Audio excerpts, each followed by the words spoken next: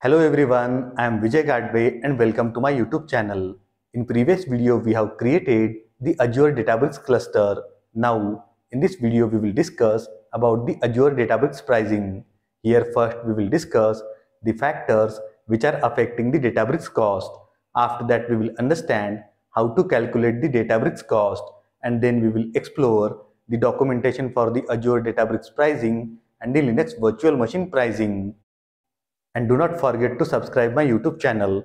Here I am continuously sharing the content related to data engineering, Databricks and Azure Cloud. Let us understand the Azure Databricks pricing. The Databricks uses a pay-as-you-go model for its cluster pricing. That means you only pay for the resources that you use. The cost is calculated based on the following factors. First one is the instance type. Instance type is the type of virtual machine that is used for your cluster. The Databricks offers various instance types with different processing power and memory capacities. The more powerful is the instance, the higher is the cost per hour. The second factor is cluster size. This is the number of worker nodes in your cluster. Each worker node adds to the overall cost. The third factor is cluster usage time. This is the amount of time your cluster is running. And note down, the Databricks bills on per second basis. Fourth factor is Databricks units. In short, we can say that DBUs. DBUs are a unit of processing capability that is built on per second usage. The DBU consumption depends on the size and type of the instance running on Azure Databricks. So the cost is calculated based on these four factors. There is one more factor which affects the cost. Let us understand this. Additional cost. Depending on your specific requirements, you may incur additional costs for the features such as storage. This is for storing your data on Databricks. Enhanced security and compliance. This is for customers processing regulated data. And the Delta Live tables. This is for building and managing the data pipelines. So the Databricks pricing is calculated on the basis of instance types, cluster size, cluster usage time, Databricks units and additional costs. Let us understand how to calculate the Databricks cluster cost. As we discussed earlier, these are the factors with which the Databricks cluster cost is calculated. Instance type, cluster size, cluster usage time, Databricks units, and additional cost. And this is how we can calculate the total cost, instance type cost per hour into number of worker nodes into cluster usage in hours. In addition to that, DBU consumption into DBU cost per hour plus the additional cost. So this is how we can calculate the Databricks cluster cost. Let us understand this with the help of an example. Let us suppose we are using the instance type as standard DS3 V2 which is costing $0.35 per hour and we are using cluster size as 4 worker nodes. The cluster usage is 160 hours per month and the DBU consumption is 1000 DBUs per hour. The DBU cost is $0.01 per DBU per hour and the additional cost is $100 per month of storage. On the basis of these inputs, let us calculate the pricing. We fitted the numbers in the formula that we discussed in earlier slide and this will be the total cost $1924 per month. So this is how we can calculate the Databricks cluster cost.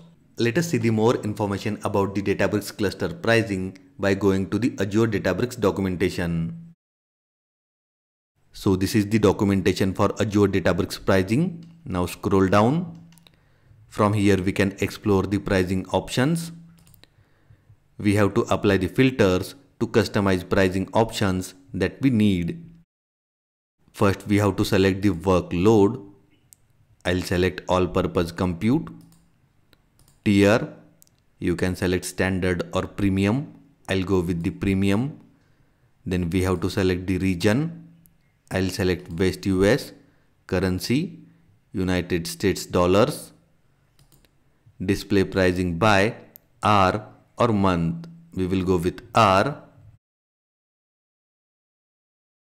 First we are able to see the standard tier features. These are the features. Features for all purpose compute, jobs compute and jobs light compute. This is the first feature Apache Spark on Databricks platform. Enable for all purpose compute. Also enabled for jobs compute and jobs light compute. So these are the features for standard tier. Now scroll down. You can explore all these features. Then we have the features for premium tier. These are the features. All purpose compute, jobs compute and jobs light compute. These are the features. Enabled or not you can see here. Then scroll down. Delta Live table features for DLT Core, DLT Pro and DLT Advanced. Then we have enhanced security and compliance add-ons.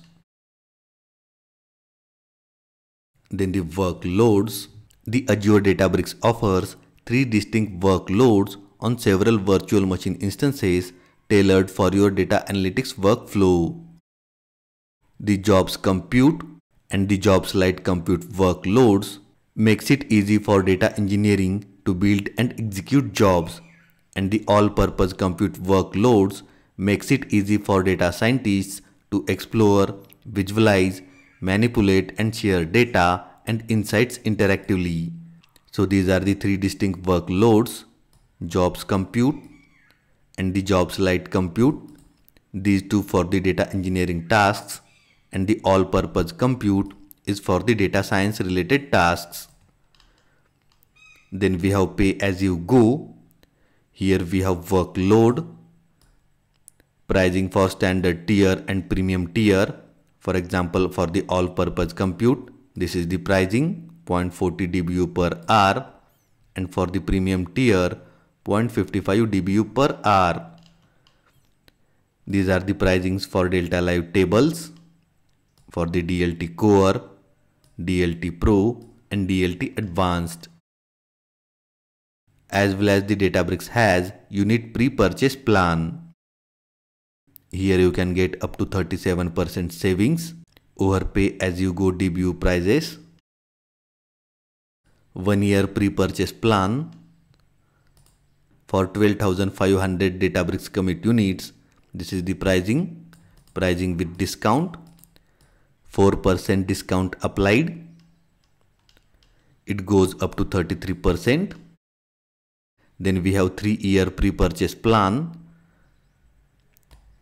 First we have Databricks commit units, price with discount and the percentage of discount. It goes up to 37%. And after that we have information about the instances.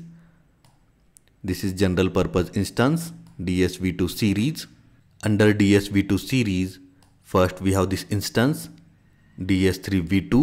It has 4 vCPUs, 14 GB RAM, the DBU count 0.75, DBU price, pay as you go total price, 1 year reserved virtual machine total price, 3 year reserved virtual machine total price, and spot total price.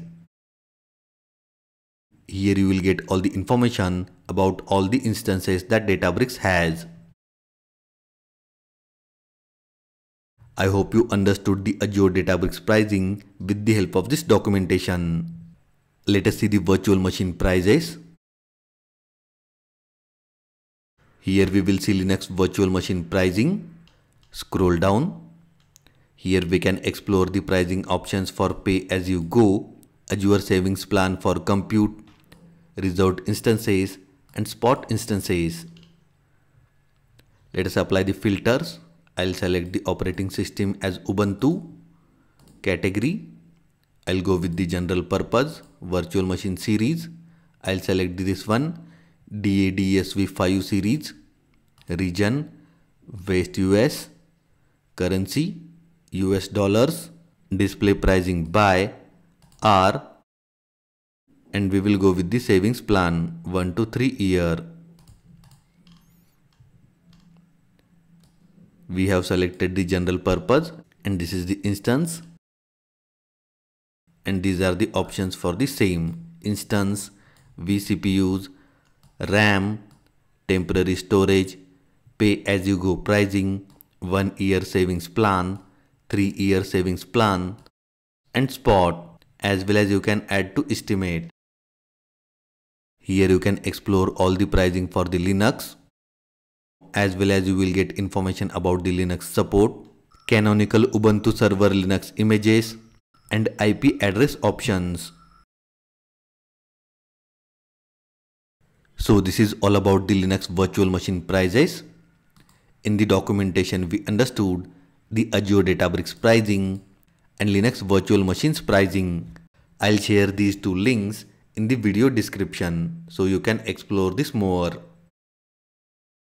So the Azure Databricks pricing is dependent on these factors instance type, cluster size, cluster usage time, Databricks units and the additional cost. Now I hope you understood the Databricks pricing from this video. I'll see you in the next one.